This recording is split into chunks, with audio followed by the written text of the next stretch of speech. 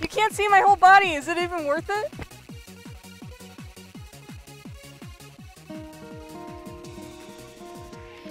Hello, darkness, my old friend.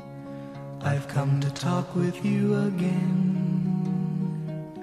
Because a vision softly creeping left its seeds while I was sleeping.